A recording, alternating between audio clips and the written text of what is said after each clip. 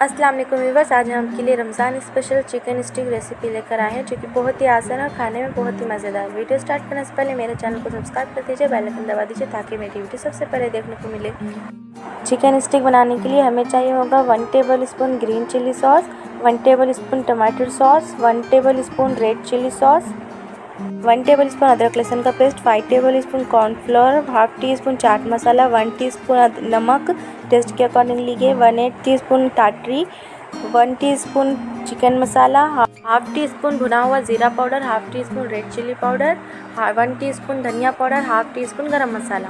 500 ग्राम यहाँ पर चिकन लिया है मैंने और इसे इस तरह से हमने कट कर लिया है। ये जिस तरह से हम बकरा ईद के कबाब कट करते हैं ना, इस तरह से हमें कट कर लेना है इसे। इसे कट करना बहुत आसान है। बोनलेस चिकन लेके इस तरह से कट कर लेना है, जिस तरह से हम बकरा ईद के कबाब कट करते हैं। इसमें अदरक लहसुन ग्रीन चिली रेड चिली और टमाटो केचप सारी चीज़ें हम इसमें मिक्स कर लेंगे स्पाइसेस भी डाल देंगे और इसे हम अच्छे से मिक्स कर लेंगे। और हमने इसमें थोड़ा सा कॉर्नफ्लावर डाल दिया है और इसे अच्छे से मिक्स कर रहे हैं। ये सारा कॉर्नफ्लावर इसमें डालना है और इसे मिक्स करके मैरिनेट करने के बाद इसे हमें 20 से 25 मिनट तक रख लेना है। और यहाँ पर मैंने वाइट कलर की बारीक सेवियाँ ली है। इस तरह से। और ये स्क्यूवर्स लिए हैं हमने कुछ, और इसे पानी में डिप करके रख लेना है थोड़ी देर पहले ही, पंद्रह बीस मिनट पहले। और इसे हम फाइन क्रश कर लेंगे। अच्छा जितना ये क्रश हो सकती है, उतनी कर लेना है इसे। एकदम बारीक कर लेना है इस सेवियों को हमें। तो मैंने यहाँ पर अच्छे से बारीक कर लिए, और थोड़ा एहतियात से कीजिएगा। मेरा किचन सारा ख़राब हो गया था इसे क्रश करते टाइम ये देख सकते हो कुछ। अभी भी बाकी है सेवियाँ, नीचे गिरी हुई। तो मेरी इतनी बारीक हुई मैंने कर लिया है इतनी, मेरी जितनी हुई थी मैंने उतनी कर लिया है। तो अभी यहाँ पर ये चिकन हमारा अच्छे से मैरिनेट हो चुका है। तो तो हमारे कबाब को लेना है और इस तरह से हमें स्क्यूवर में डाल देना है। तो ये स्क्यूवर आपको इजीली मार्केट में मिल जाएगा। ये वुडन स्टिक्स होती है, बड़ी आसानी से ये मार्केट में मिल जाती है। तो इस तरह से हमें डाल लेना है। अगर से आपके पास ये स्क्यूवर्स नहीं है तो आप टूथपिक्स में भी इसमें डाल सकते हो। बस साइज़ थोड़ा सा छोटा बनेगा। तो इस तरह से मैंने डाल लिया है और इसे इसी तरह से सारे डालकर मैं तैयार कर लूँगी। और हाँ फ्रेंड्स अगर से आप इस तरह से कोई स्पाइसी चीज़ या फिर मिर्ची वगैरह मिक्स करते हो तो हाथों पे तेल ज़रूर लगाइएगा, वरना हाथों पे जलन हो सकती है। और हमने यहाँ पर सारे चिकन स्टिक को तैयार कर लिया है। और ये जो सेवियाँ हमने क्रश करके रखी थी, उस सेविया में हम इसे अच्छे से कोट कर लेंगे।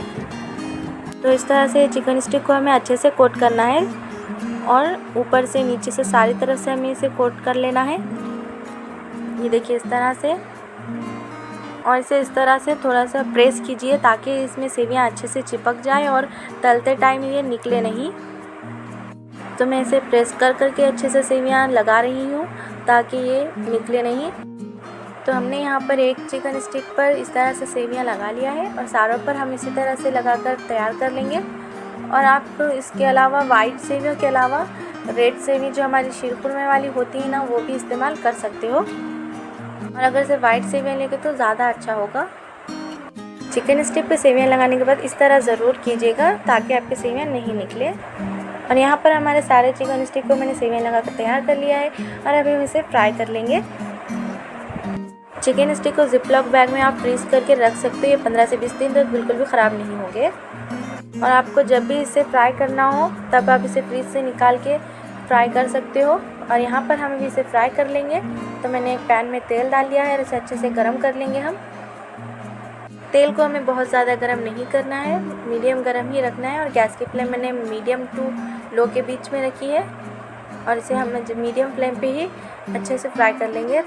गोल्डन ब्राउन होने तक और क्रिस्पी होने तक हमें इसे फ्राई कर लेना है। तो यहाँ पर हमारे चिकन स्टिक अच्छे से गोल्डन ब्राउन हो गए हैं। तो हम इसे एक से डेढ़ मिनट तक इसे इसी तरह फ्राई करेंगे। मीडियम फ्लेम पे ही इसे फ्राई कीजिएगा। अगर से आप इसे हाई फ्लेम पर फ्राई कर दोगे तो ये सिर्फ़ ऊपर से ही क्रिस्पी होंगे और अंदर से ये कुक नहीं होंगे। तभी हम इसे निकाल लेंगे। और इसे निकाल कर टिश्यू पेपर वगैरह पे बिल्कुल भी मत रखिएगा। इसका सारा तेल निकल जाएगा टिश्यू पेपर पर उसका टेस्ट भी थोड़ा सा बिगड़ सकता है। इस तरह करने से हमें तो यहाँ पर हम बुम बुम सॉस बना रहे हैं। तो बुम बुम सॉस बनाने के लिए टू टेबल स्पून मायोनीज़ लगेगा one teaspoon sweet sauce लगेगा one teaspoon tomato sauce लगेगा। हाफ़ टी स्पून पिसी हुई अदरक ली है मैंने। आप चाहे तो अदरक का पाउडर भी इस्तेमाल कर सकते हो। हाफ़ टी स्पून ऑरिगेनो लिया है, एक चुटकी काली मिर्च ली है और इसे अच्छे से मिक्स कर लेंगे हम। और थोड़ा सा मैंने इसमें नमक भी ऐड कर दिया था। तो यहाँ पर हमारा बुमबुन सॉस बन के तैयार है। एक मिनट में ही हमारा बुमबुन सॉस बन के तैयार हो गया है और यहाँ पर हमारे चिकन स्टिक भी तैयार हो चुके हैं। तो आप इसे एक दफ़ा ज़रूर ट्राई कीजिएगा रमज़ान में, ये सभी को बहुत पसंद आएगा। और इसे बनाना भी बड़ा आसान है और खाने में तो ये बहुत ही मज़ेदार बनते हैं। हमारी फैमिली में तो ये सभी को बहुत पसंद आए थे, बिल्कुल मार्केट स्टाइल बन के तैयार हुए थे ये चिकन स्टिक्स। तो आप एक दफ़ा ज़रूर ट्राई कीजिएगा और अगर से वीडियो पसंद आए तो इसे लाइक कीजिए, आगे अपने फ्रेंड्स और फैमिली मेंबर्स के साथ ज़रूर शेयर कीजिए। मेरे चैनल पर पहली बार आए तो सब्सक्राइब कीजिए बेल आइकन दबा दीजिए ताकि मेरी वीडियो सबसे पहले देखने को मिले। अगर से आप लोगों को कोई और रेसिपी चाहिए तो कमेंट में ज़रूर बताएँ, इंशाल्लाह ज़रूर दूँगी। चलती हूँ, अल्लाह हाफिज़, मिलती हूँ अपने नेक्स्ट वीडियो के साथ।